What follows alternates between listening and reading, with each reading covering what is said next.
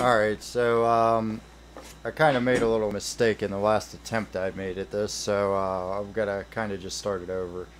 Um, but yeah, uh, so let's start off, whoops, not with that, um, not that folder, it's in here. So, um, the directory. So my directory is going to be different than yours, and uh, you're probably going to have yours installed to the default directory, which is um, C programs 86, um, Activision, and then um, Call of Duty World War. So that's probably going to be your directory if you have it installed to the default. Um, I don't have my game installed to the default but this is where you're going to install your mod tools so um, I'm not going to cover that part um, this is more or less for if you've already got that part done. So um, then we're going to go into um, bin and in here we're going to open Radiant which I already got open so uh, this is going to be um, basically creating like a small little um, is it's going to be kind of a small little tutorial on how to use Radiant and how to make stuff in it. So um, uh, this is from my little uh, messed up demonstration I did before. So uh, we're going to start anew. And what we're going to do is we're just going to remove this crap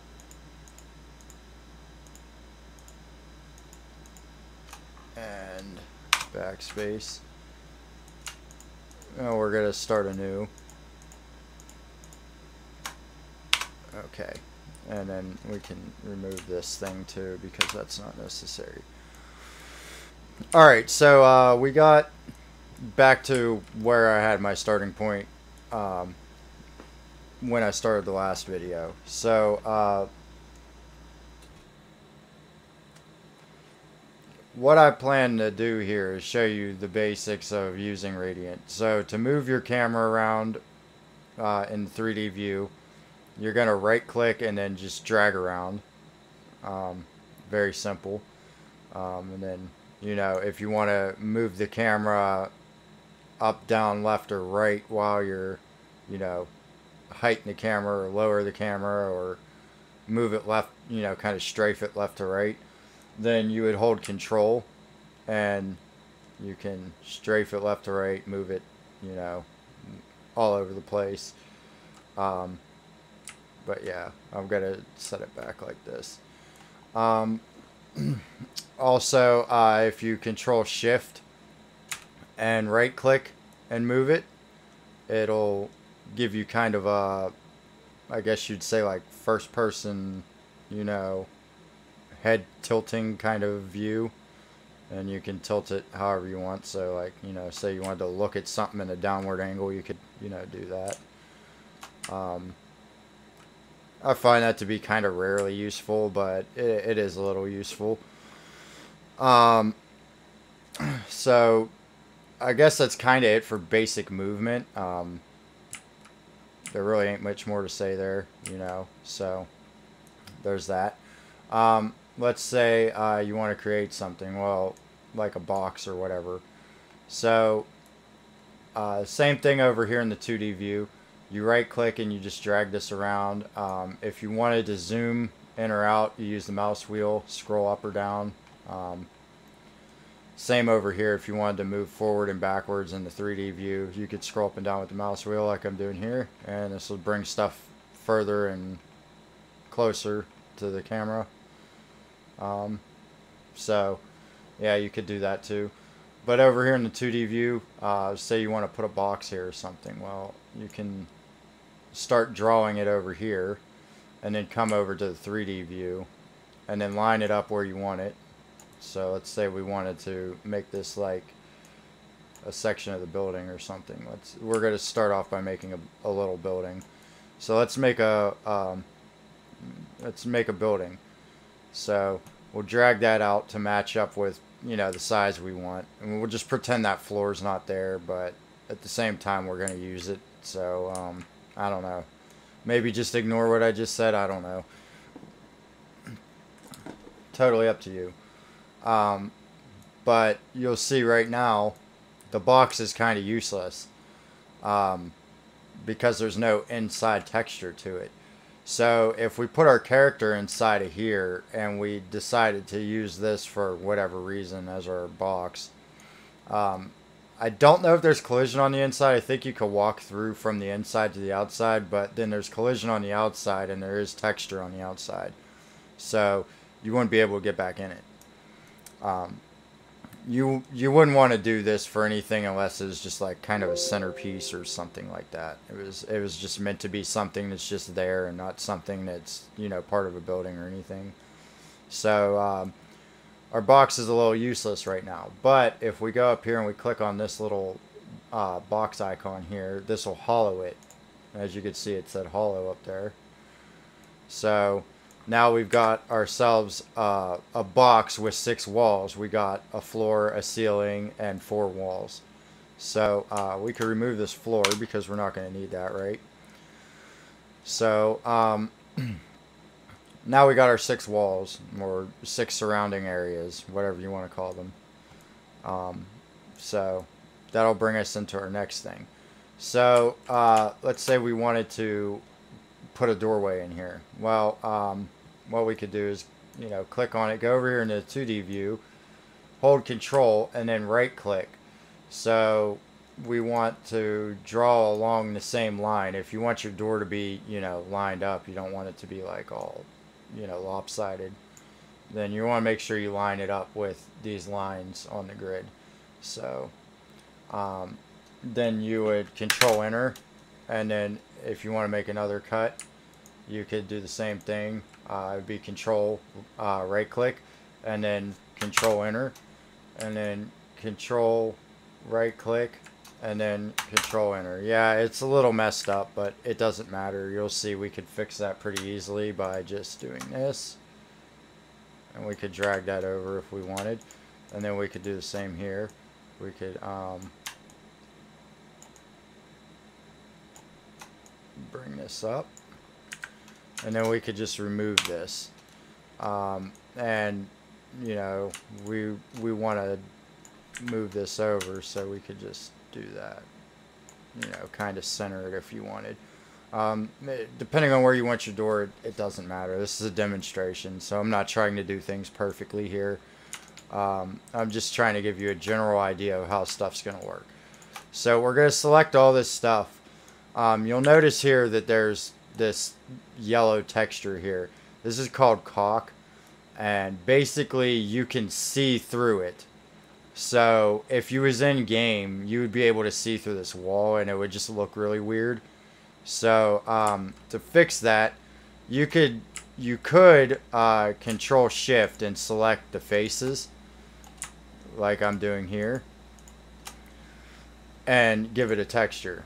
But the problem is we've cut and there's caulk here. So if for whatever reason, you know, your camera went at the right angle or whatever, you might actually be able to see through part of the wall because of that. Um, I don't think it's necessarily something that'll happen, but just to be safe, what I like to do is select everything that has a cut applied to it and then retexture it.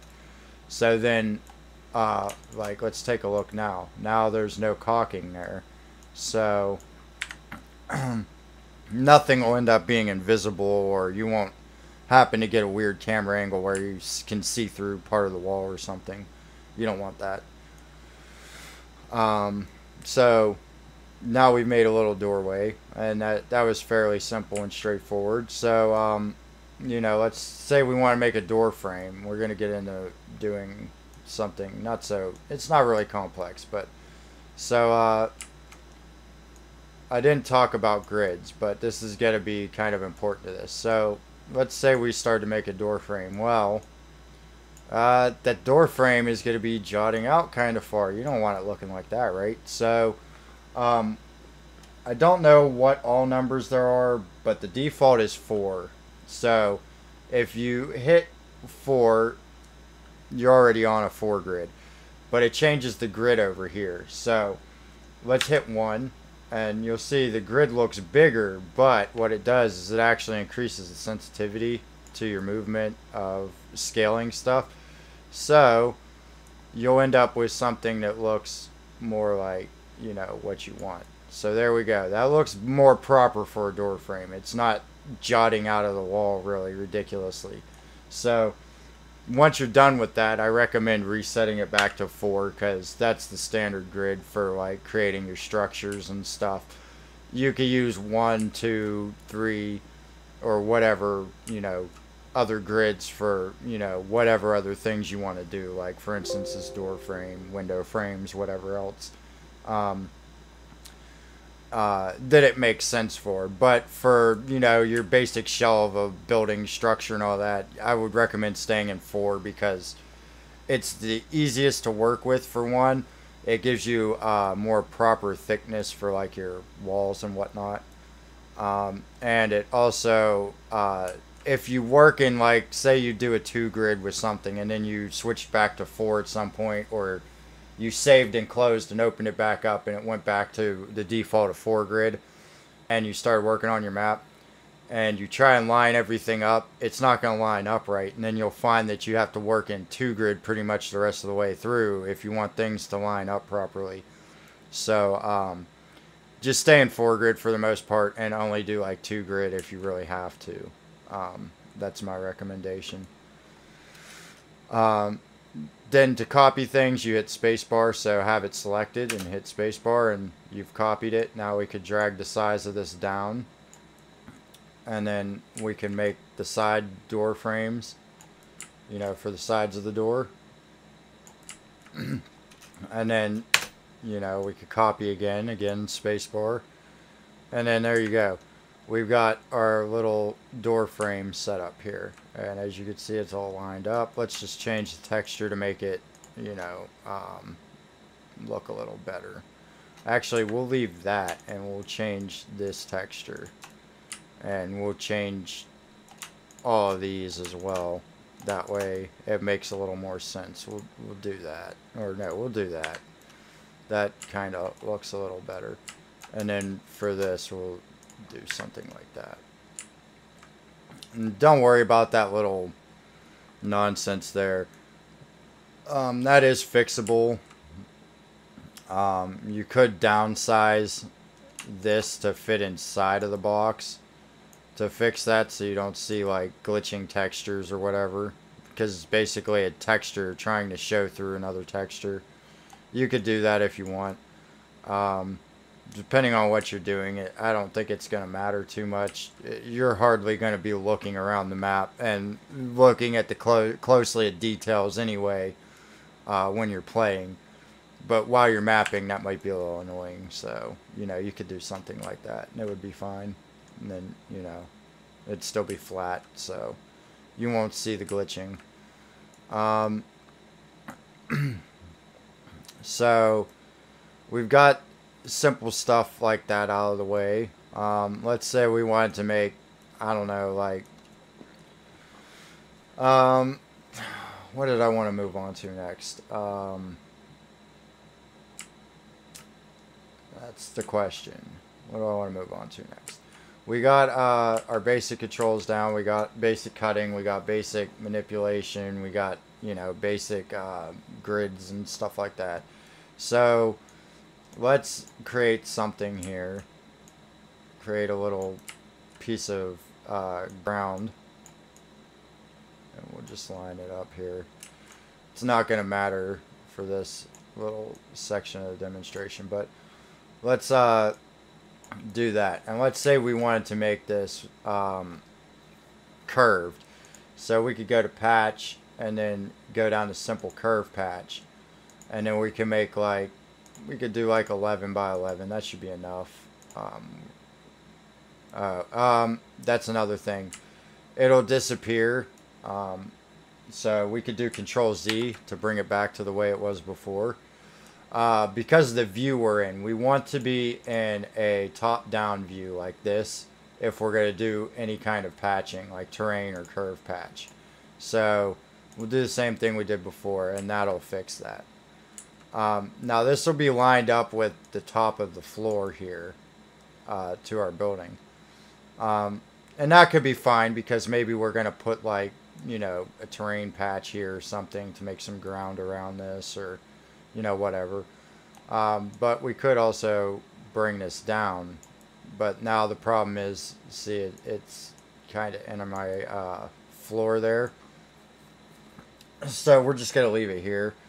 Um, again, simple demonstration. Now, with it selected, if you hit V, it'll bring the vertices. So those uh, those numbers we plugged in are the vertices. So it's 11 across and 11 this way. Um, you don't necessarily have to do it that way. You could, you know, you could figure out how many you want, you know, across and width wise. Um, but I typically just stick with the same. So say I do 11 for, you know, width and I do height as 11. That way then I don't have to worry about, oops, I, I did, I wanted the height to be 11 and I wanted, you know, the width to be something else.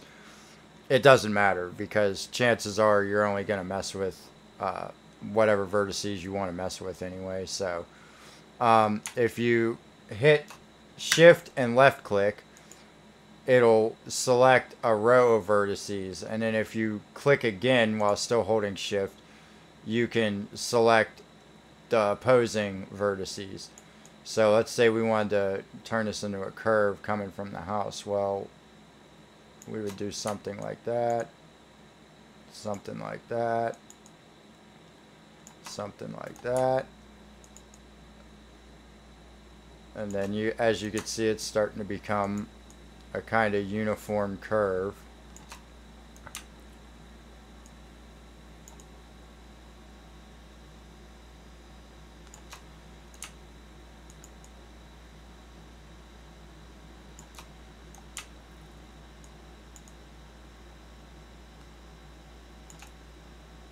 And then for like here, maybe we're going to do like that.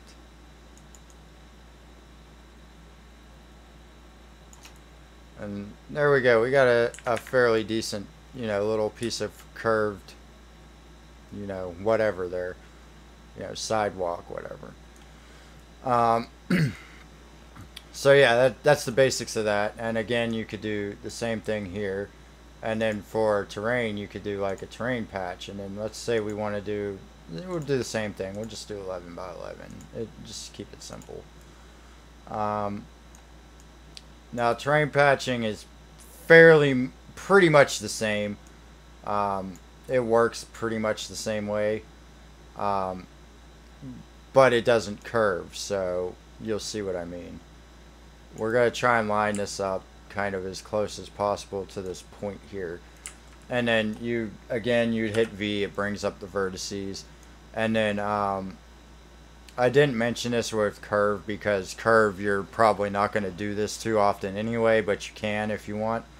Um, if you left click and highlight one of these vertices and then hit alt, you can move just that single vertice however you want. So, you know, say we wanted to line this up to kind of come to the point of um, this curve patch, we could do that if we wanted.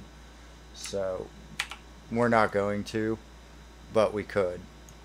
Um, and then again, you know, if you have uh, your vertices selected, you can, you know, shift and then click and it'll do the same kind of thing. You can move all the vertices at once along that axis. But the problem with that is you're still going to have to come back, say you want all these to be raised. Well, you don't want there to be a hole in your map, so you're going to want to have to do this and then drag this back down to line up where you want it. And then you'll have another little problem here. You'll have one vertice will be kind of on an angle here while the other one just is lined up with the rest. Um, so you're more than likely going to want to select your vertices and like you know kind of just more or less this is tedious but you're going to want to individually manipulate them where you want them you know i recommend changing your grid for doing something like this so you could get a more precise um, you know, shape for whatever you're trying to make. Um, but I'm doing this in a four grid, so it's going to look very, very primitive. Um, but yeah, you know, say you wanted to make like a little hill or rocky kind of looking side and you're just going to use like a, a rock type texture to make it look like it's just a bunch of rocks, you could totally do that with just a curve patch or a terrain patch, I mean. and like I said, you know, say we wanted to bring this over to match up with the curve patch, we could, you know, drag this over till it's, you know, relatively around where that point is. Um, now this probably ain't gonna line up perfectly, but you can make it line up perfectly with enough patience. So you could do like that. And, you know, you could drag this down to where it lines up more with the corner uh, which would be something like that. And then you can, you know, kind of line this up how you want. Actually, I think, yeah, it looks like it's going to need to be that, like that. Um, and see, this is where the problem with working in a four grid on this is as you can see, you're not going to get things to line up the way you want. Um, even if you try and use the same amount of vertices for your terrain patch as you do your um, curve patch because it's not going to line up right. You can kind of overlap them if you want. That doesn't that that's totally up to you. It doesn't matter. Um, you could do that. That would be fine. Or you could put something like a kind of barrier in between the two, like maybe you know say you're making like a, uh, you know, not really a sidewalk, but like a curb or something. You could put like a curb there or something. Just, you know, whatever you wanted to do. Um, but see, this is where, you know, going into like a one grid would be more useful. But for demonstration, I'm just going to let this fly like this. So you could kind of get an idea of uh, how this is working. And you could see already that this is very tedious if you want things to look pretty by the time it's said and done. You're going to have to sit here and tinker with this and get it where you want it. And get irritated that it don't look right until you get it to look right. So, um, yeah. You'll have to just kind of take your time to make things look right. Now, I mean, I, I have no intention of, you know, making this beautiful. This isn't the point of this. This is just to kind of demonstrate um, what uh, you could do. So now we've covered terrain and all that. So we've got our little sidewalk. We've got our little terrain. You know, we could turn this into grass if we wanted. And then, you know, you could see it's glitching out because it's not lined up properly at all. Um, and stuff's overlapping, but you know, it's all fine. It's all cool here because we don't care right now. Um, so uh, we got that taken care of. Let's see, what else did I want to cover? I know there was some stuff that I was forgetting that I wanted to bring up the last time. Oh yeah, uh, for textures, by the way. If you want to bring up all the textures, you go to this texture thing and just hit show all and then all the textures that are within the game will show up down here so you have more options to select from than just the ones that are in use um, so yeah there's there's that um, mm, let's see clipping so you create something like this right um, so like some of these objects, uh, let me start here. Let me start with that first. Some of these objects here, like this. This one I'm pretty sure has collision on it. But some objects don't have collision. You can just walk right through them. So, to be safe, even if you know that it has collision, the best thing to do is to make a clip. So then you can't walk through it, or the zombies can't walk through it, or basically nobody can walk through it.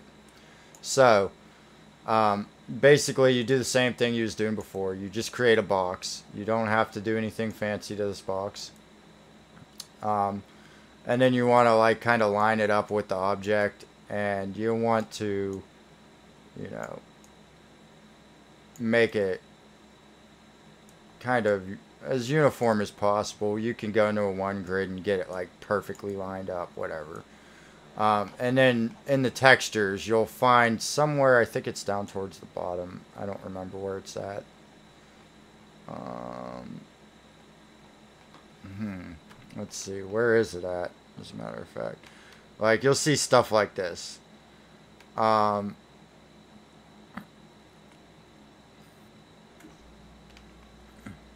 I don't know where all of them are. Hold on, I'm going to bring this up and make it bigger so I can spot them easier. Um, but there's one called Clip. It's a red one. And it'll say Clip all over it. That's the one you want. It might actually be up here at the top. Because I think I had it in use. Actually, as a matter of fact, I know I used it before. So let's see. Um, textures and in use. So there we go. Clip right here. And there we go. Now, in Radiant, it'll show up with this little red box and it'll say clip all over it. But in game, you won't see this at all. It'll be completely invisible. All it is is basically just an invisible box that has collision that prevents you from being able to walk through objects. That's really all it does. Um, you could also say like, okay, well, you're not done making the map and you don't want, you know, or you are done making the map and you want to create a way that people can't go out of bounds. So you just want an invisible wall. You could, you know, do something like this. You could kind of do the same thing you did with the box um, to make the building. You could just put a clip here and then hollow that clip and there you go. You got yourself um, invisible collision all over the place. So, you know, maybe you don't want the one on the bottom. Maybe you just want it to be where you can't get out of bounds. You know, even if it's kind of like this, um, if you was like, I don't, uh, if you was like laying down, you're not going to be able to crawl under it. Uh, so even if it was a little bit off the ground, it would be okay. Um, so yeah, there's that too. Um, but yeah, you could use this for all kinds of things, you know, like you know, say you want to make it linear and you don't want people going, you know, past a certain point because you just didn't bother making anything in the background to make it look pretty from a distance or whatever. Or you just don't want them falling off the map. Like, say you just made something like this big square here, you know, and that was the limits of the round of uh, your ground. You could let them walk all the way to the edge if you want, or you could put a clip somewhere within the boundaries, you know, like of this big square, you know, and that would prevent them from being able to get past a certain point. So they can't just walk off the map and get stuck in limbo down below because what'll happen if you fall off of one of these maps, like say I walked over here and I was able to get off, you know, and I just walked over this edge, you'll still live and you will keep falling because there is nothing that, you know, there's nothing that'll kill you. There's no kill plane or anything. So what will happen is you'll fall to a limbo kind of state, and there is a point where you'll stop falling, but you'll be stuck there. You won't be able to do anything but move your camera around and maybe shoot your gun till you're out of ammo. And uh, eventually you will slowly take damage and then eventually slowly die. So, yeah. Um, you don't want that happening either. Um, you could probably program a way to keep that from happening. Like, say you decided, oh, well, I'm just going to leave the map open and let people walk off the edge. You could probably program a trigger or something underneath to, you know, oh, well, hey, you know, this person hit this trigger, so, you know, put them back on the map. You could do something like that, but why bother doing all that when you could just stop them from doing it completely without having to do any extra scripting? There you go. So, um, there's also different kinds of clips too. There's like clips that bullets can't go through, and ones that zombies can't go through, or players can't go through. There's all kinds of different clips, but um, this one here you could shoot outside of. So, like, say I shot a bullet from inside of this clip. I can't walk through it, but my bullets will still be able to go through it. So, you know, say you wanted to stop the bullets, then you would want to put a different clip on the outside of this one. but you're probably not going to be worried about that. Just let the bullets fly in infinite space. It doesn't matter. Um, it's not going to affect anything anyway. So there, I don't see a point in doing that. Um, unless, of course, like, you know, you was shooting at this object and this object didn't have collision. Well, you want the bullets to stop. Um, usually, though, this is another thing to keep in mind, though. For something like this, you wouldn't want to do that anyway, because typically you wouldn't have to. So say this, this object didn't have collision. Usually, even if it doesn't have collision that, you know, you can't, that makes it to where you can walk through it. So say as and no collision, you can walk through it it still has collision to where if your bullets hit it, it'll like tink off of it or make a sound effect or something like that. There is still some basic collision, but it is just, it's not collision with other objects, I guess you could say. Um, it's only collision with like certain objects like bullets and stuff like that. Um, why that is, I really don't know. I couldn't tell you, but um, I guess that was a shitty example, but point being, there is, you know, ones that are for bullets. There's this thing too. This is a light grid volume. Um, we'll probably cover that later. Um, you you need lights first of all, so we'll actually do that now. Like, let's put a light in here, and it'll show up like this. Um, so you know, this is going to be an important part of a map, so I might as well demonstrate it anyway. So you bring your light in here and you can kind of see, you know, how the light's going to, you know, emanate and where it's going to come from and all that stuff. And you could put like two of them in here. Yeah, this is a small little room. It don't need to be real extravagant with light. So um, there's that. You can hit N on the keyboard and uh, you could change the light intensity if you want it to be brighter uh, you could change the light radius if you want the light to span out further. Um, but you know that's that's up to you. Uh, but what you would use uh, the light grid volume for is when you create, like say you create a box like this. Um, let's make this box line up with this box. Sometimes the 2D grid's useful. Most of the time I use 3D though, the, the 3D uh, area. So you would really, ideally you want this to line up to the outside of the box, but most of the time I do this on the inside so it reflects off of the, just the walls. Um, because it's not like the light's going to go through the wall anyway. Uh, but you would do that and then you would hit light grid volume and then uh, all of where this light is shining at. So this tells it where the borders basically are for the walls. Uh, so then it knows to like reflect the light or you know whatever, um, diffuse it or whatever it wants to do with the light. So uh, in this case, you know, because this is stone, it would probably be more diffuse than it would be reflective. So then it would, you know, make it shine off the wall, but it would make it shine off the wall properly. So that's that's basically what that does. Um, then there's other volumes too, like there's uh, for your zone. There's um, actually I could do that this way. Um, where is it? Mm, I forget where the volumes are for that. Where is that at? Uh, uh, reflection probes too are kind of useful, uh, but I rarely use them. Uh, I never actually found them to be that useful actually. Um, oh yeah, info. So info and then volume. And then this is for a zone. So this is to say like, hey, this is one single area. That's what this is for. So you create one of these and then you give it a name. So like, you know, start zone is always going to be the first one. So then it would be start zone.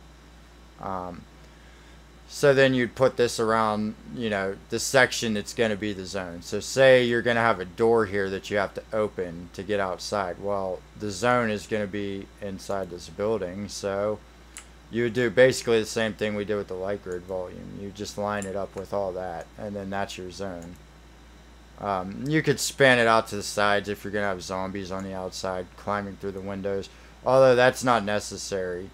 Um, as long as you have your path nodes set up, which we'll get into in a second, um, you know, and your windows set up right, the zombies will just come in. They know that they're part of this zone, so um, as long as there's enough path nodes leading them to where they need to go to get inside of the zone, then they'll just they'll naturally do that. You don't have to worry about them being encompassed in the zone. They can be outside of it. Um, it doesn't really matter they will still work fine. So, um, but yeah, this is a zombie, so he's already technically in the zone. Um, so then you'd name it, and that I'll cover at a later time, probably with some scripting stuff, because that that will require a little scripting, especially once you have more than one zone. So like, you know, say then you open the door, you're gonna need a zone out here, and this will be a different name this zone will be like zone 2 or whatever, you know, whatever you want to name your zones. You can name them whatever. Um, that is totally up to you. So, you know, I try and keep it simple. You know, I know where my zone, you know, where my zone 1 is, where my zone 2 is. I try and keep track of all that so when I script it, I, I can script it right. And it's it's not too hard to script that. That's actually one of the easiest things you could script. Um, unless you're doing some really complex shit, you know, then then maybe it'd be more difficult. But you know, for basic zoning, it wouldn't. You know, say this is your zone. With you know, um, you could even do something like this. Like you could put a zone in a zone, um, and it shouldn't be a problem because this zone will not be triggered and activated until that door is open. So, like I said, that's part of the scripting thing. So that's this outside zone would be zone two, and it will encompass everything on the outside of the building. So, you know, you could alternatively for something this small too, just not have a second zone, and just leave that zone, and then all this would basically be one zone. Uh, you could just span this zone over everything, or you could just leave it in the building, and then when you open the door, you know, technically, technically that's not the way you would do it. You would want to span it over everything that's going to be your playable area if you're going to make it one zone, but you know, that's up to you. Unlike Black Ops 3, where if you put the zone, like say you put the zone in this building and you wanted to make this just one zone with one door. You open the door and that door doesn't need to connect to another zone because you're just going to use one zone for everything. You just want to have a door. Um, once you walk outside of the doorway, you'll get killed because you're outside of the zone. Um, and the game treats that as you're not supposed to be there um, in Black Ops 3. But in World at War, it doesn't do that. So you don't really have to worry about it in World at War. Kind of cool, huh? Uh, also, a difference in Black Ops 3 too. Say like you didn't put your door here yet or whatever, so you have no way of triggering the next zone. So say I still had that zone here, right? Let's bring that back. So, so this zone's still here, right? And I open it and I don't have this door set up yet, so I don't have nothing triggering this zone yet. In Black Ops 3, if you walked outside of this doorway and entered this zone that isn't flagged to, uh, um, isn't flagged yet, then what would happen is it would kill you too because you're outside of the zone you're supposed to be in. So that's also another difference with Black Ops 3. But in World at War, once again, that's perfectly okay to do. You can walk into a zone that's not activated yet, and it won't care. It gives little shits about if you're in the, the zone you're supposed to be in or not. It doesn't care. So, Um, but Black Ops 3 does care. I found that out the hard way when I was messing with the maps and thought everything was basically the same. But yeah, they made some changes. Um, and one of them is you can't be outside of the zone you're supposed to be in, or inside of a zone you're not supposed to be in, because I guess that's their way of mitigating cheating. You know, you going someplace you're not supposed to be yet. Um, so I mean that's fine, but you know, also at the same time it's a little annoying when you're like testing and you don't have everything set up yet. So. but yeah, there's so there's clipping, there's volumes, there's light grid volume, um, there's light probes, there's objects.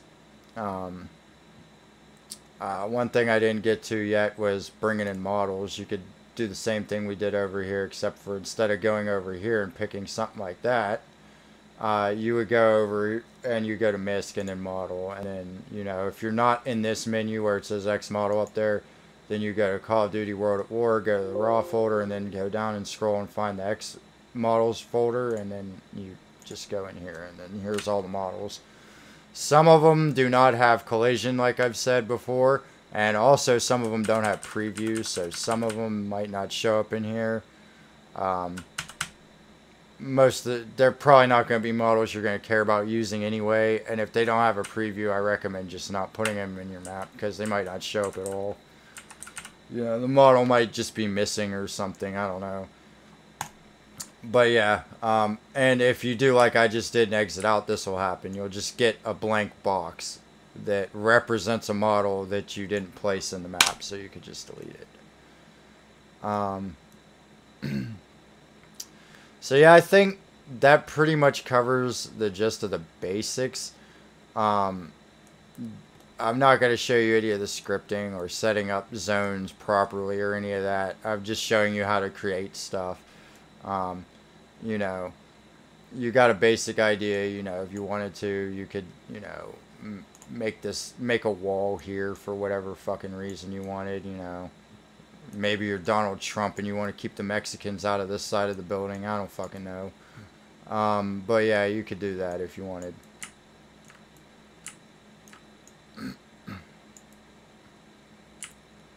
So, yeah, there you go. There's Trump's wall of keep the Mexicans out of that side of the building.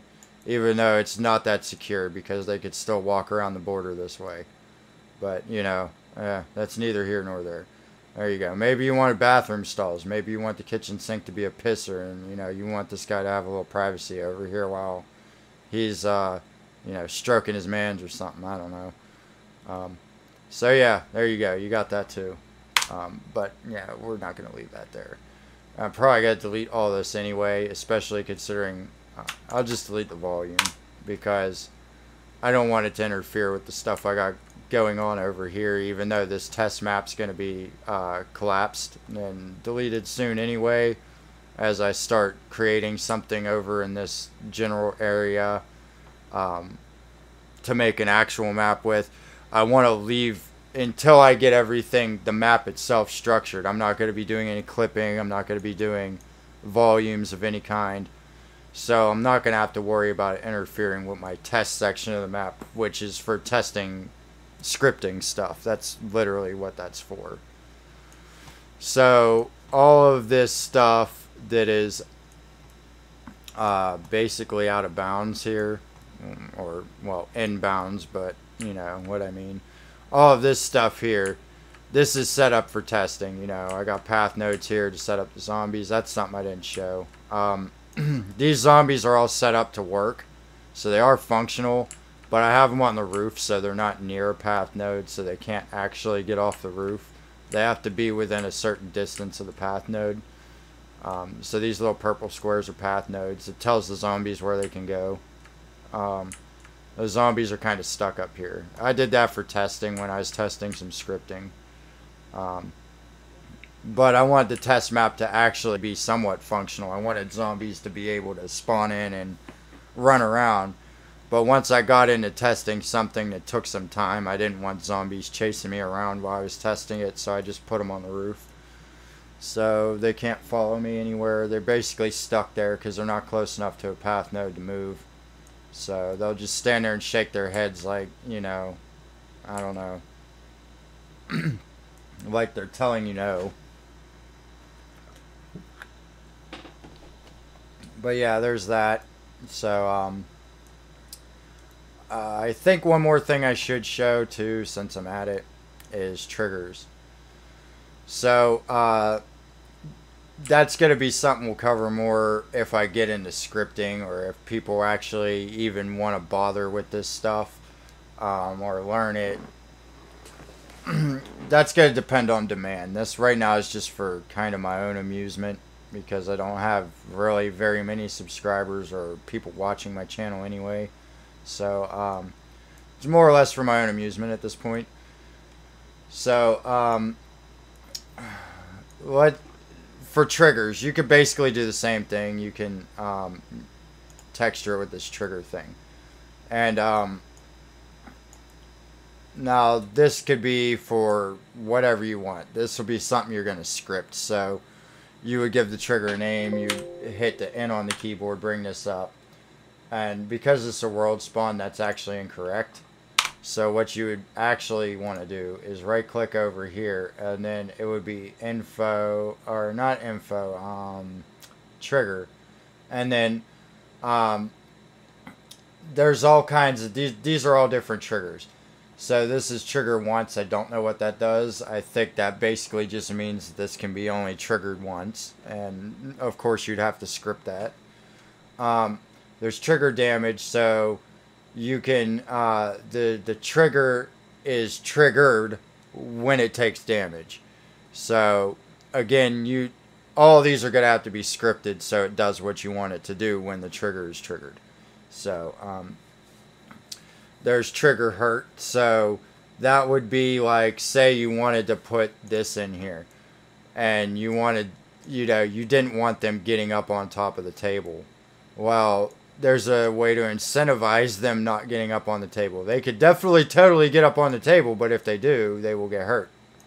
So, you know, if they figure out a way to jump up and get up on top of the table, this trigger will inflict damage on them basically either until they get down or until they die. So that'll incentivize them to not get up on the table. If you wanted to do something that dickish, you could do that. Um, basically the same gist with the other uh, triggers. You know, trigger trigger use is one of the most common ones used for a lot of things. So that would be like, um, you know, press F to, you know, buy mystery box. That's what you would use for something like that.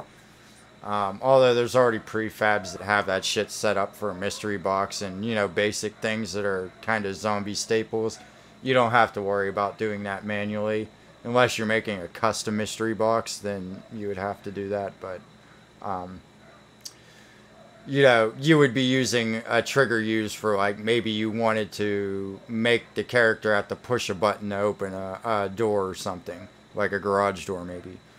You know, instead of him using points, you you want him to have to open a certain amount of doors to get to the garage, and then to be able to get out of the garage, he has to hit a button to, you know, garage door button, open the garage door. You know, then you would use a trigger use. Um, you could use a trigger damage for like, say, you know, like for my song Easter egg, that's what I used. So if I put one of these in here, you know, and say I wanted you to, you know, um, damage this radio and you know the radio starts going off and starts squawking about some bullshit that nobody gives a fuck about um, you could just you know encompass this object in that trigger uh, damage and then if you hit it with a grenade you shoot it you knife it um, anything that inflicts damage on this trigger will activate it so whenever you go to script it you know um, as soon as it's damaged, whatever code you put in there that says do this, it'll be done after that trigger is damaged. Well, as long as you scripted it right. Um, it can activate on its own if you don't script it right. Um, so there would be something like a wait till, and then you'd put in the parentheses trigger, you know, Um, I'm not going to get into scripting, but that's a basic gist of how you would do it. That would tell it it has to wait until this trigger has been damaged, and then it goes through the code. Um, you know, and how you code that's totally up to you. But you know, there is. I just wanted to point out there is a possibility that if you put the trigger in there and you script it wrong, or you don't have a wait till trigger or something that tells it to wait until this trigger has been damaged before it proceeds through that block of code, then it'll just activate on its own. It will just activate without damage. Um, so you gotta keep that in mind with triggers. Um, for everything else, I think that pretty much covers everything. Um, uh, there is one more thing, actually, as a matter of fact. Um, so let let's say uh, you wanted to make a door, right? Um, you wanted to put a door here, right?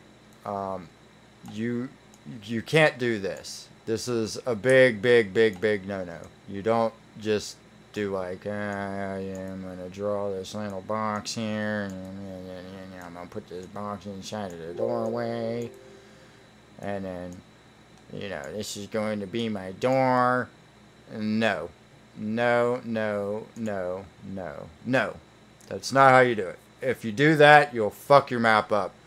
Basically, um, if you try and use this as a door and you script it to where this opens or something, if you uh, come over and you try and buy it for X amount of points or whatever, if you try and script that or you try and see it shows up as a world spawn, if you try and change this or do anything to any of this stuff in here that is connected to this world spawn object, um, when you save the map and you try and reopen it, it'll delete everything out of your map. Like all the stuff in your map will disappear. Um, and I don't know of a way to fix it other than having a second of your map and backing it up in case you accidentally do that.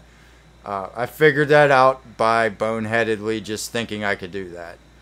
No, you don't do it that way. This is how you properly make a door. So uh, you would go to script and then brush model.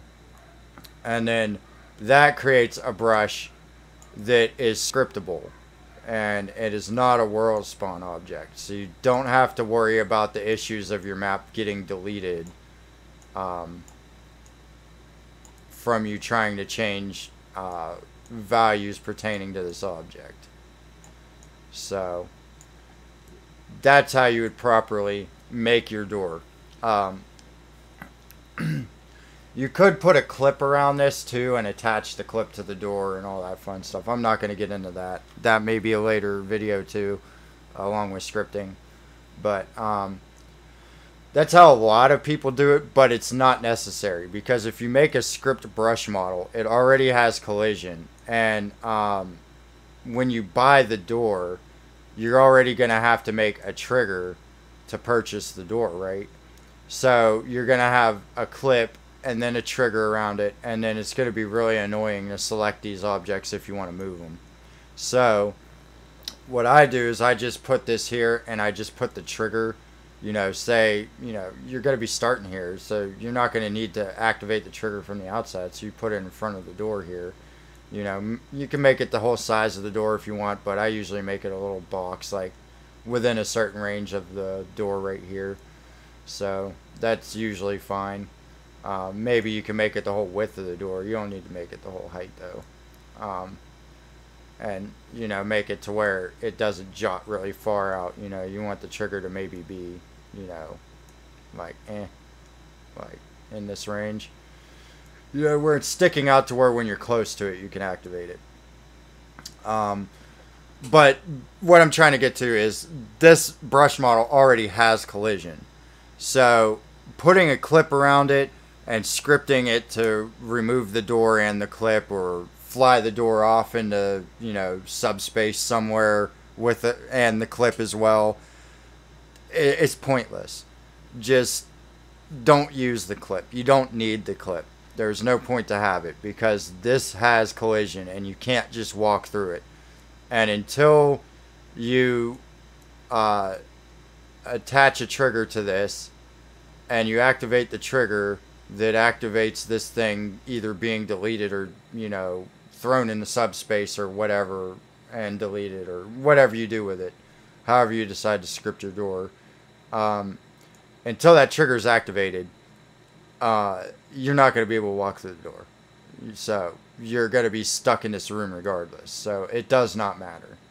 Um, there's a time and a place for a clip, and uh, that's not the place for a clip. I mean, you could do that if you want. I'm not saying don't, but it's totally a waste of time. So, um, but yeah, that's how you would properly make a door, and that's kind of arguable considering the texture. But you know, um, you know, go ahead and talk all the shit you want. Let's just show all textures, and we'll try and find something that's adequate for a door.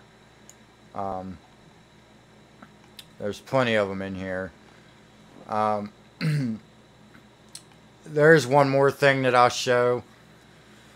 Uh, actually, no. You know what? I won't show it, but I will explain it. So basically, say you create, you could create another uh, new map. Like, say you save this, you could go under here and create new, just open new map, and it will be empty. And say you wanted to create a door that you're going to reuse that you know is a door itself and maybe it has a window in it and all that. And instead of recreating it or copying this door around you just want to have this door. So we're to go ahead and do that actually now that I think about it. So let's open new map and then copy selection. So now uh, where the hell is it? Okay it is nowhere near where the camera is But now let's uh, let's say we're gonna make this door right. So there's our door. That should be the right size. It, it may be off, but you know whatever. So let's pick a texture we want for the door. Let's you know say we want the door to be you know metal. You know we could leave it wood, but um, yeah, we could leave it as wood and just do what we do with it that way. But let's see if we could find uh, maybe a metal texture, like maybe this one here. You know, that that looks that that's supposed to be concrete. Um, so let's see. Um, I don't know if we got any metal textures that's kind of adequate for this. Here we go. Let's let's do that. That'll be our metal. Okay and we want this to be a door and we want it to have a window in it and we want it to be reusable right? So we could do like I showed you earlier and we can um, flip this and put it into the perspective where we're seeing the whole square right? And then we could go down towards the center and we could make a cut a cut keep the pieces cut cut you know uh, keep the pieces and cut cut again, keep the pieces, cut, cut again, keep the pieces. And then, um, so we want this center one to be a window. Well, then we could just change that texture to like, you know, this cracked glass or whatever, and then do like we did there and just correct that. So maybe we want to move this up or something. Well, you know, we already went through this stuff. We don't have to really reinvent the wheel here, but um,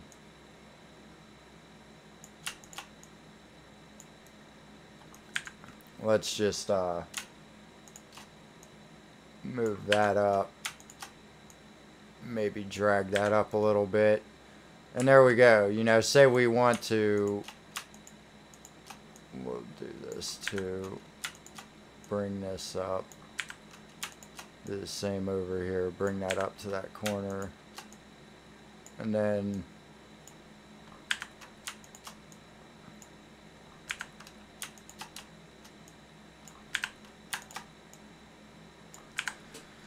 then if we want we could you know do this and we can also make the window wider you know, this is just going to be a simple example. I'm not going to add a little frame around the window or anything like that. But there we go. We got our we got our door that we want to be able to reuse, right? So now we've got our little door that we want to reuse. We could uh, save this. Now, um, what you would do is you'd save as, and you can save this as uh, prefab. So you could do prefabs, and then in here, um, I don't have my folder anymore because I had to reinstall all my shit and I lost my folder. But I had a folder of prefab stuff that I had already made.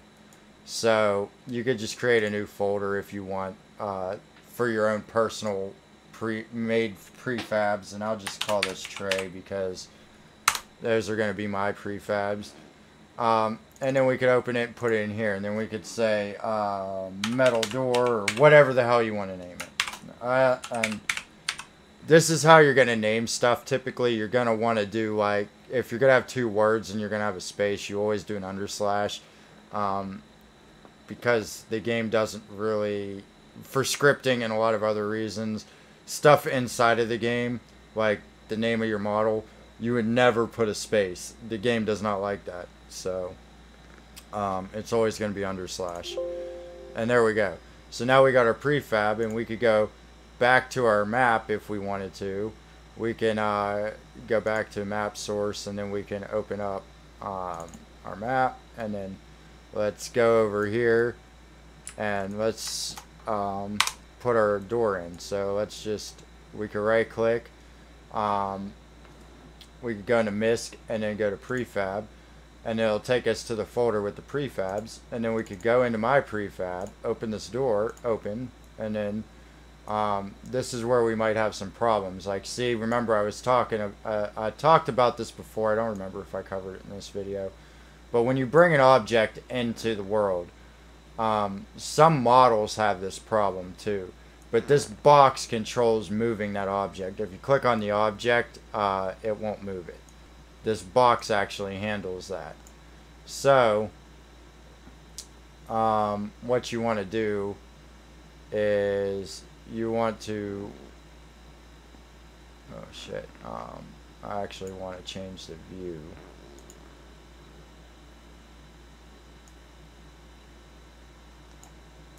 And there we go. So, um, that's going to make a liar out of me. You can click on the object, I guess. Uh, with models, that doesn't seem to be the case, but with, I guess, my prefabs, you can do that. But you can see the boxes not, you know, lined up with the object. So, you know, yeah, there's that. But there we go. We've got our door, and now we could just, you know, we could copy and paste this door all over.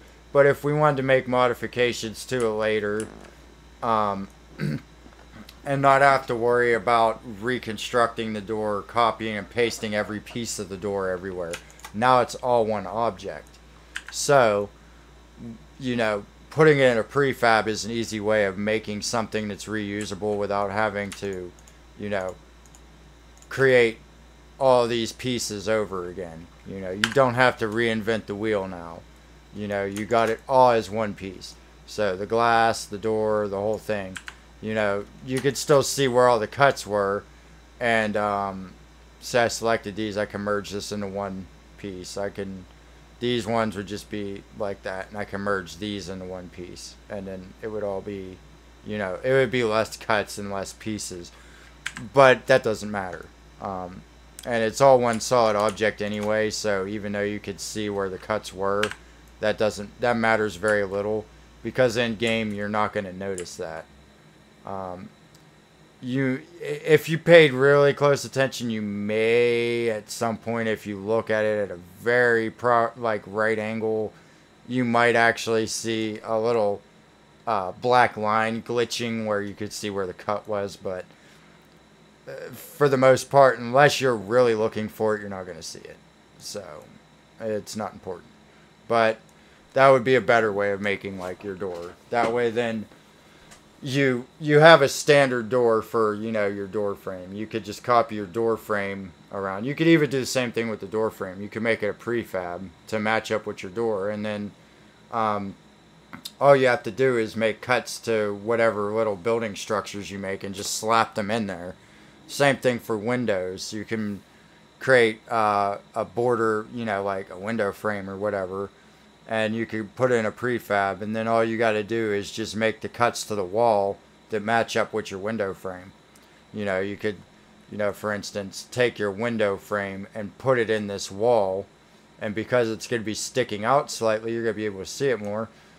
And then whenever you go over here and you go into the view to see this, you'll see, oh, okay, well, here's the outline for my window frame. So I'm just going to cut here, here, here, here, here, here, here, here, and then, you know, just delete the centerpiece. And there you go. There's your window. So, um, yeah, very easy. Um, now, this has gone on for quite long enough. Um, and I covered a, a, vast majority of the basics. Um, uh, I will go over like one more thing. Let's say we wanted to add uh, a weapon or something. Um, you can you can add weapons like this, um, but you don't want to do that. You want to add them as MISC and then uh, prefab, and then there should be zombies mode and there will be weapon upgrade you see weapon underscore upgrade. So we'll do the MP40. Um, you're going to want to bring these in uh, and then place them around. Because if you use the weapons that are just weapon, uh, you try and buy them off the wall or whatever, I'm not sure why they don't work. So that's just, that's, that's reasons. Those are reasons. So. Um, but there you go. And then this is, uh, it's a prefab. It's already set up. The trigger's there. The price is set. So when you walk up to it, you know, in game, you can just buy it off the wall. You don't have to do anything else to it. That's it. It's it's already there. You don't have to add the chalk outline, the gun, and then a trigger to, you know, set a price and you know tell it basically tell the the code in the game to give you the gun. This is already done for you. You don't have to do any work there. Now, if you're adding custom weapons in, you will have to do all this stuff. But um, for the stuff that's already in the game, this is already done for you. You don't have to do any of that. Um, you could just place it where you want, that's it. If you want to be a dick, you could put it on the ceiling. You know, totally up to you. Um, yeah, like, haha, asshole, have fun getting up here to get the gun. You know, you could do that if you want. That's that's fine. It's totally legitimate. Um, so, yeah, that's it. Um, I covered pretty much all the basics, as much ground as I could cover without, you know, making a whole straight up, let's create a map video where we actually create a whole map. Uh, I gave you the basics. I gave you the rundown of everything, um, except for anything that includes scripting or naming of objects and models and you know triggers, whatever. Uh, outside of that, I gave you everything you need to know um, for basic map construction, I should say. Um, when it comes to scripting and stuff that is interactable, I didn't really give you too much of a rundown on that, but maybe in a future video, if there's enough. Uh, if there's enough people interested, if there's enough viewership on it, if, um, if you know stuff like that, you know, if you like, you know, good. If you uh, if you are interested in, if you're new to zombie modding, if you've never done it, and you're interested in doing it, um, you know, especially the, if that, leave a comment. You know, if you need help, comment on the video. I'll try and help you. It's not the best place to to uh, get help is in the YouTube comment, but um, if I get enough people, you know, interested in doing it, maybe even enough noobs, I'll I'll train you up. You know, watch this video on basic construction, get your mod tools installed. Um, if you don't have them installed, find a video online that teaches you how to install the mod tools for your uh, Call of Duty World at War. Um, get familiar with that with setting all that up and then come watch this video on how to do the construction or watch somebody else's if you want it doesn't matter to me but i feel like i put time into this so you know if you did watch it come back to it at least and and try and learn something from me if you if if you come across this and go watch another tutorial to install the mod tools. Um, at least be generous enough to come back to where you started. Um, but again, I'm not forcing you. There, there's no gun to your head or nothing. Um, so, uh, so let's. Uh, I'm gonna say, if there's enough interest, I'll make more. Um, if you like it, great. Um, if you need help, I'll try and help you. Um, uh, I may leave a link to my Discord. Uh, I rarely use it. I usually use it to go on and talk to people in different Discord servers for either help or, you know, whatever about different things, old game systems, you know, scripting, other, you know, keep up with, you know, game projects that I know are going on or whatever, stuff like that. Um, I rarely ever use it though, but I may leave a link to that for the people who are interested to um, get on there and uh, chat about it. Um, and uh, if if you are interested enough and you really are uh, truly interested in learning, I will be more than happy to get on voice chats and uh, help you um, as best as I can. Try to explain things as best as I can. Um, I'd be more than happy to do voice chats and maybe cooperatively work on stuff together if you if if you want to, or you know maybe try and walk you through while you're doing stuff on how to do things. Um, I will try and make a video on scripting and you know basic object manipulation and stuff like that. Like basically like zoning, uh, scripting. You know, uh, doors and stuff like that to to uh, open and trigger another zone and all that stuff. Um, so that'll probably be coming in the future. I also have plans of making a video on downgrading GTA 4 from the complete edition on Steam to, uh, I believe it's 1.7 or 1.07 or something like that. I can't remember which version, but the version that was basically uh, Windows Live version. Um, so you don't have to deal with the Rockstar's launcher or um, any of that crap. Um, multiplayer is pretty much dead, so it's not hindering anything. And that also gives you the ability to have your save files local on your computer hard drive instead of them being basically on a server that you have to connect to through Rockstar to even play your game. So, um, also, the big, big thing with that is uh, modability. If you want to use any of the mods especially the popular ones, the ones that have been around for a long time. Um, that version of the complete edition, a lot of the mods end up breaking. So, you know, not all of them, but a good bit of them break. Or they'll cause crashing or something. So, or if they work, they might not work right. So, there's that too. Um, but it, it helps with if you like to do cosmetic mods. If you want to cheat, that's totally up to you. But I don't do that. I just do cosmetic mods and, you know, kind of whimsical fun mods. Um, stuff like that. Um, so yeah, that, that I plan on doing sometime here in the future. Uh, I actually got to go through the process and see how to go about it because I've never done it.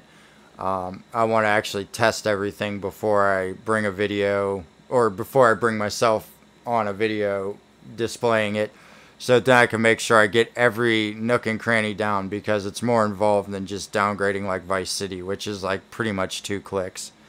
It's like EdgarSnyder.com, one click that quick. You know, you just drag and drop everything into a folder and you're done. You know, it's not going to be like that with GTA 4 because um, I know whenever I use the disc version of GTA 4 before um, they got off Windows Live and switched over to um, whatever other method of online they had before uh, getting to the point that they use Rockstar Launcher now.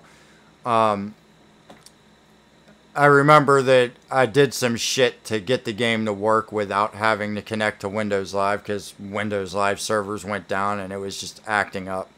So the game basically wouldn't even it would launch, but it would basically say, "Well, fuck you, you can't play your game." So um, I have to figure out what I did, but I was able to remove Windows Live and get the game to work without Windows Live. Uh, I, I had to remove a script somewhere. But yeah, that pretty much fixed it. With that script being gone, it just ignored the fact that it was a Windows Live game and didn't even try and do anything pertaining to Windows Live. It would just load my save file off my hard drive. It wouldn't try and log in into games for Windows Live, which was kind of annoying because when Windows Live went down, what would happen is it would pop up the box to tell you to log into your like Windows Live gaming account or whatever, and then it would try and connect if you did try and log in and it would fail and then it would make you do it again and if you tried to exit and just skip it, it would just bring that box back up again and again and again, and you would never get in the game. It would just be an annoying process. So I figured out a way to completely remove Windows Live and make it work. So I plan on trying to figure out how I did that again, but I did that quite a few years ago, so um, it's going to be some trial and error. But yeah, if you like it, if there's enough demand, I'll put a Discord server link inside of the description for that. Um, for anybody who's interested in trying to message me and talk to me about um, map making. Um, more or less people who are trying to get into it, people who are more advanced and more skilled than me, I don't see a point, you know, unless you want to help with making a map or helping me complete a map, which I have a few ideas for, but um, you know, the map making portion I'd probably have to do myself because the ideas are in my head. I don't have them on paper. I don't have a drawn out like plan on paper. This is what the map's going to look like. So I can't just send it to you and say, hey, you know, um, I got this section complete, complete this section. I'll slap it together with this section. There's, you know, there is going to be none of that. It would be more like maybe I need some help with scripting something I've never scripted before. Or maybe, maybe we want to just compare maps or something like that. Who knows? Um, but people who are more advanced, that's, that's probably not going to be of any use to you. But for people who are trying to get into it, who's never done it before, or who are just interested in learning, trying to get, trying to see if I could bring the community's not dead, but I'm trying to bring it more to life. So um, if anybody's interested, you know, maybe we could co-op working on a map. Maybe we can work on a, a kind of idea cooperatively, and I could just work on my own maps in the background. Um, I'll try and help you with scripting. Um, depending on what you're trying to script, I might not be able to help you, um, but I'll try my best. Uh, when it comes to map building, I'm pretty decent at it. I got a very very good, decent idea of how to do things. There's some things I'm not really good with. Um, but uh, for the most part, I could help you out with, you know, building your map and maybe getting your zones to work properly. Whatever, whatever kind of stuff you need like that. The basic stuff that you're gonna, you know, um, you know, the basic ingredients to the recipe you're going to need to create the pie. You know, I, I could help you with that. But when it comes to super advanced things like porting in custom models, I, I haven't deviled into that yet because I wanted to get good at scripting and map making first. Um, before I got involved in trying to bring in custom models and custom animations and maybe even custom particle effects and stuff like that. Eh, I don't want to get into that until I, I'm good enough at this. And I feel like I'm reaching that point. I've reached that point. Um, I just have to get everything I need to start working with the other stuff and actually practice it. So then I could actually say definitively, yeah, I could help you with that. Uh, right now I can't. So uh, maybe if you're more advanced than me and you want to help me with that, uh, you could go to the Discord server then and uh, maybe help me out with that. Or, or help other people out with that even. Uh, not just me, but other people too. Um, so yeah, I don't have much of a community following. I don't have many followers on uh, on uh, YouTube. So, you know, if you see this video, great. If you want to get buddies involved in, in messing with this, great. If you want to get on Discord and start, help me get a community because I really don't have anybody that, that chats on there anyway with me.